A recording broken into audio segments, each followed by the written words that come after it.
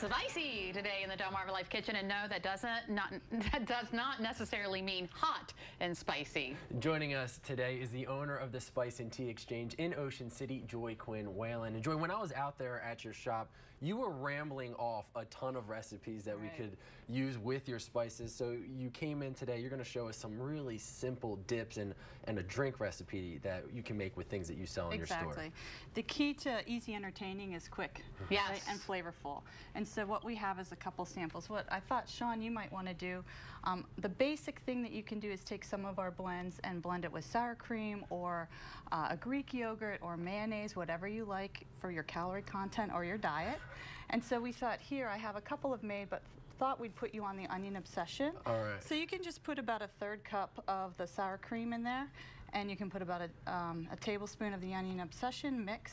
If you want a little less, a little more, we give you um, a couple of guidelines, but it's really to taste. So if you like it more potent or less potent, it's your call. So That's, really, it's that simple. It's Just that simple. a little bit of sour cream, some of the spice blend, and, and mix it up, and exactly. it's good to go. That, My kind of recipe. That's easy. so here we have the coastal, you're doing the onion obsession, and we have the Vicks garlic. You heard me talk about the Vicks garlic for a shrimp scampi mm -hmm. um, in the segment.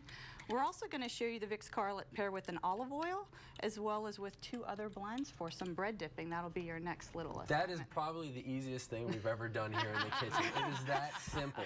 And then, like you said, we could do it with olive oil right. as well. If you just put a tablespoon of each of those in the dishes in front of them and just pour a little olive oil on top, you're all set for some uh, sophisticated bread dipping with your wine and cheese. Yeah. I love it. So just dip it in there like that. Yep, and just pour Add a little olive oil, olive oil, on top. Does it matter what kind of olive oil? I mean, do you prefer a, a light or a... Uh, you know, you want the uh, a light olive oil that will carry the flavor of the spice. You don't something uh, like a, I know I had a Mas Fuerte olive oil from Spain that was really potent. This I would just go with a you know um, a moderate olive oil. We carry one in the shop, but there's also some nice olive oil stores that give you a broad variety. Mm -hmm. And then you just mix and match, and away you go. All right. Do you have to do this in advance, or can you do this literally? I mean, how quick it is. The company could be walking in the door. Exactly right.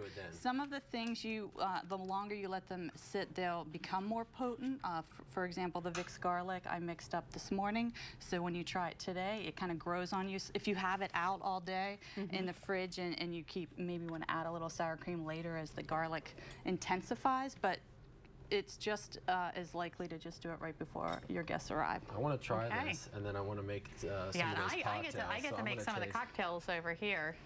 So I'm so. trying the onion obsession. what just made.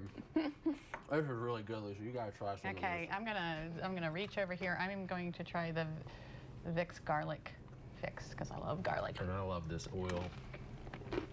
Mmm. It tastes like you spent hours on it, but you don't need to tell anybody you spent about five seconds wow. doing it. Right.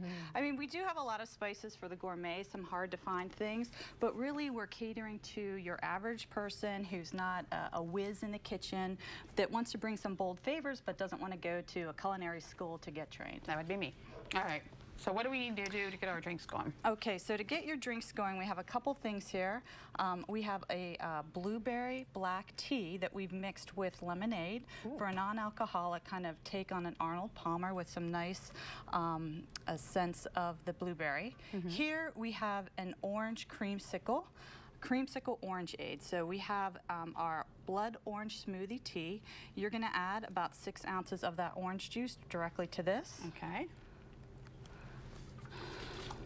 And then you can add a couple of things if you could have it just like this for uh -huh. just a non-alcoholic cocktail or if you want to add vodka or we have some Prosecco or champagne. It's kind of like um, a different take on a fuzzy navel. What so do you what think, you're Sean? doing, I, I, think we should try it with the champagne. I think it's only fair. Just pour it in there. Um, but what I think is cool is, and you were telling me when I was at the stores, you're so, a little bit. when you're out, when we're out of the store, you're telling me you can substitute these teas for the sugary drinks that or the cocktail exactly. that you normally. So you're use. getting the fruit flavor that you want that is um, provided by typically a high sugar, um, naturally a sugar gel. Um, juice Uh-huh. uh, without the sugar. And if you want it uh, to be a little bit sweeter, then you actually can control the sweetness based on using a simple syrup or just adding some sweetener. Okay. Let's All try right. this. Next we have what do we have here? So what we have here, this is using one of our blends. This is tomato juice uh, with our Bloody Mary mix Mm-hmm. and uh, a little vodka. What I wanted to show you here is how you can use um, not only our blend in the product itself, but also Can I bring this up so they can just see what you just did there? What is that? So this can be a simple syrup, or you can use a little um, light corn syrup. Mm-hmm. And so what I'm doing here is just rimming the glass. This is our bacon salt. You saw this online. you could do this with salt. You can do this with sugar. And this bacon salt is actually vegan, so there's no actual bacon in it, but the flavors are um, tricking you into yeah, when you said bacon that. salt, Jimmy's ears went like And that. then there you go, your Bloody Mary mm. with, your bacon, salt. Oh my goodness. Awesome.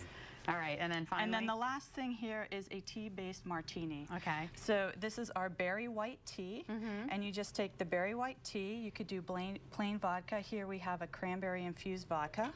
just put it in here, Yeah, all of it. yeah, that's good. Okay. And you could dump one of those vodkas in. Uh, you can use, there's a variety of different uh, martini recipes online. What I usually do is equal parts vodka and the tea.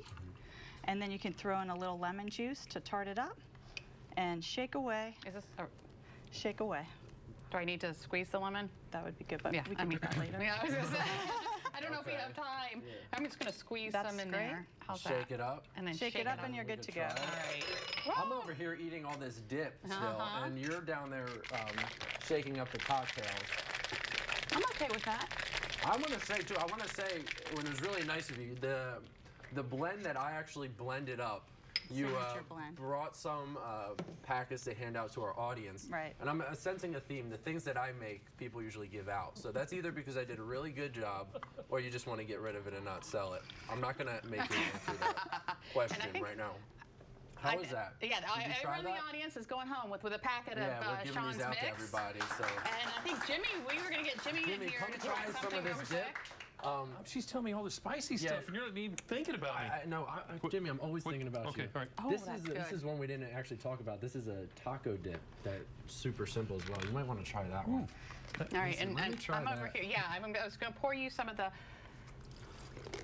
Joy, thank you so All right. much. problem. Thank you so For much for bringing all this in here. I am definitely going to go check it out. And of course, if you would like any of these recipes or more information about the Spice and Tea Exchange, just head over to our website, delmarvalife.com. Up next on Delmarva Life, Sean, are you ready? I'm ready. Okay, we are digging into the Delmarva Life mailbag. We'll hear what you, our viewers, have to say about, well, everything. Stay with us. Mm-hmm. Delmarva Life will be right back. Cheers. Thanks, man. Joy, thank you.